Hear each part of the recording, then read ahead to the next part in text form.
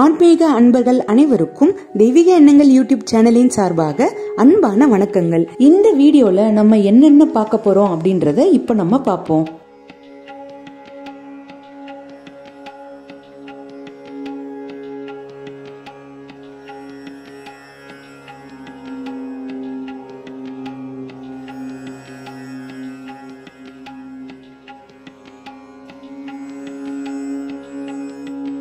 நம்ம தெய்வீக எண்ணங்கள்ல பார்க்கக்கூடிய பதிவு தினம்தோறும் நாம வீட்டில் விளக்கேற்றும் பொழுது கவனிக்க வேண்டிய முக்கியமான வழிமுறைகள் என்ன? நாம தினம்தோறுமுமே விளக்கேற்றுவோம். ஆனால் நம்ம விளக்கு ஏத்துறது சரியான முறையில் ஏத்துறோமா? சரியான எண்ணெயில ஏத்துறோமா? அது எப்படி ஏத்தணும் அப்படின்றதெல்லாம் தெரிஞ்சாலே நாம விளக்கு ஏத்தக்கூடிய பலன் நமக்கு கண்டிப்பாக கிடைக்கும். இந்த பதிவை நீங்க கடைசி வரைக்கும் பாருங்க. இதன் மூலமா விளக்கேற்றுகிற பலன் உங்களுக்கு கண்டிப்பாக கிடைக்கும். தெய்வீக எண்ணங்கள் சேனலை இப்போதான் நீங்க முதல் முறையா பாக்குறீங்கன்னா கீழே இருக்கிற சப்ஸ்கிரைப் பட்டனை கிளிக் பண்ணுங்க. பக்கத்திலே இருக்கிற பெல் பட்டனையும் கிளிக் பண்ணுங்க.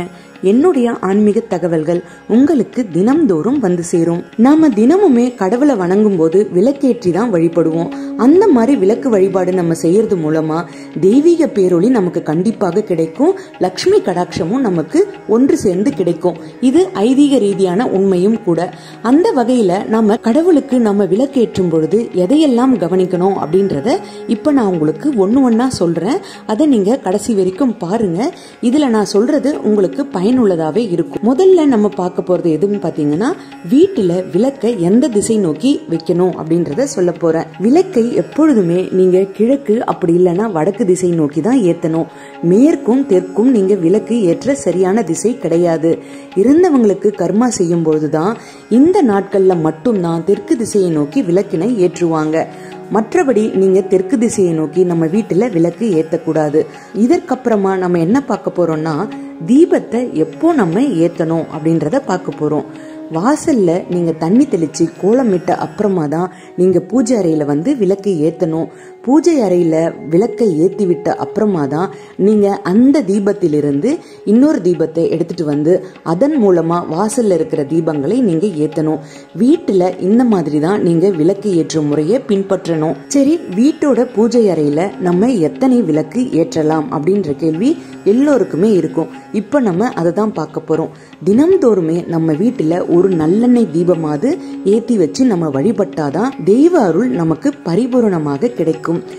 நீங்கள் வீட்டில் அம்மன் சிலை அப்படி இல்லைன்னா ஸ்ரீ சக்கரம் வச்சு வழிபட்டுக்கிட்டே வரீங்க பூஜை செய்கிறீங்கன்னா நீங்கள் பூஜை அறையில வலதுபுறத்துல பசுனையும் இடதுபுறத்தில் நல்லெண்ணெய் தீபமும் ஏற்றி நீங்கள் வழிபடணும். சரி அடுத்ததான் நம்ம பார்க்க போகிறது வீட்டில் விளக்கேற்றும் பொழுது எந்த திரி கொண்டு நம்ம விளக்கை ஏற்றணும் அப்படின்ற கேள்வி எல்லோருக்குமே இருக்கும். அதற்கு உண்டான இப்போ பார்ப்போம். நீங்க பருத்தினாலான பஞ்சு திரி அப்படி இல்லைன்னா தாமரை தண்டு திரி இதை மாதிரி கொண்டு நீங்க வீட்டுல விளக்கேற்றுறது ரொம்ப ரொம்ப நல்லது.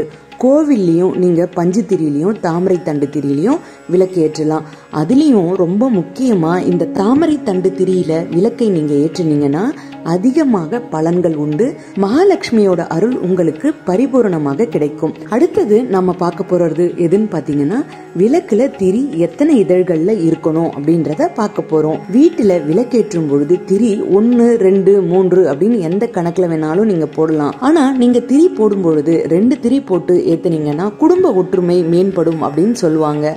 அதனால் நீங்கள் வீட்டில் எத்தனை திரி வேணாலும் போட்டு விளக்கு ஏற்றுங்க ஆனால் நீங்கள் திரி போட்டு விளக்கு ஏற்றும் பொழுது தீபம் வந்து அணையாமல் இருக்கணும். அது நல்லா எரியிற அளவுக்கு நீங்கள் திரியினை போடணும். இதில் எந்த கட்டுப்பாடுமே கிடையாது. சரி விளக்கு நான் எந்த எண்ணெயில் ஏற்றணும் விளக்கேற்ற சிறந்த எண்ணெய் எது? அப்படின்னு கேட்பீங்க விளக்கேற்ற சிறந்த எண்ணெய் எதுன்னு பார்த்தீங்கன்னா சுத்தமான பசு நெய் அப்படி இல்லைன்னா நல்லெண்ணெய். இது ரெண்டுத்தையுமே கொண்டு நீங்கள் வீட்டில் விளக்கை ஏற்றலாம். இதனால் நமக்கு கிடைக்கும் பலன்களுமே ரொம்ப ஏராளமாக இருக்கும்.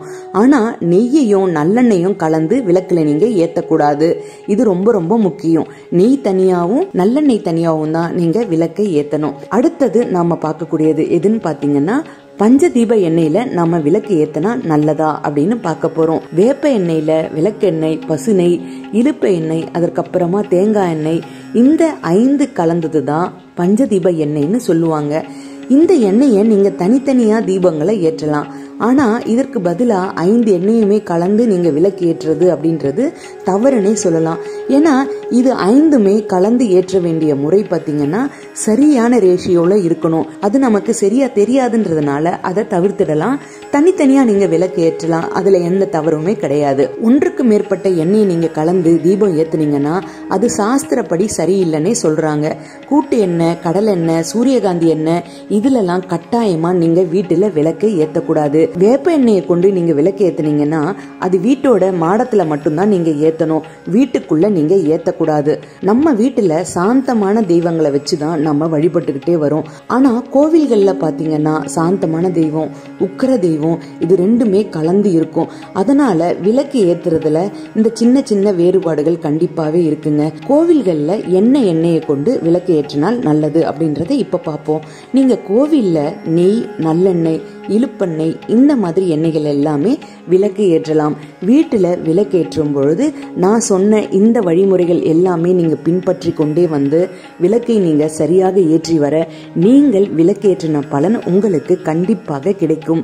இது ஐதீக ரீதியான ஆன்மீகத்தில் சொல்லப்பட்டிருக்கிற ஒரு உண்மையும் கூட. இந்த பதிவு உங்களுக்கு பிடிச்சிருக்கும்னு நினைக்கிறேன். இது உங்களுக்கு பிடிச்சிருந்ததுன்னா எனக்கு லைக் பண்ணுங்க. இந்த பதிவை உங்களுடைய நண்பர்களுக்கும் உறவினர்களுக்கும் நீங்கள் தெரிவிங்க. இன்னும் நீங்கள் தெய்வீக எண்ணங்கள் சேனலை சப்ஸ்கிரைப் பண்ணலன்னா கீழே இருக்கிற சப்ஸ்கிரைப் பட்டனை கிளிக் பண்ணிவிட்டு பக்கத்திலே இருக்கிற பெல் பட்டனையும் கிளிக் பண்ணிக்கோங்க. நான் டெய்லி உங்களுக்கு ஒரு ஆன்மீக தகவல்கள் கொடுக்குறேன். அது உங்களுக்கு உடனுக்குடன் நோட்டிஃபிகேஷனாக வரும். மீண்டும் இதே மாதிரி ஒரு நல்ல ஆன்மீக தகவலோடு நாளை நான் உங்களை சந்திக்கிறேன். நன்றி வணக்கம்.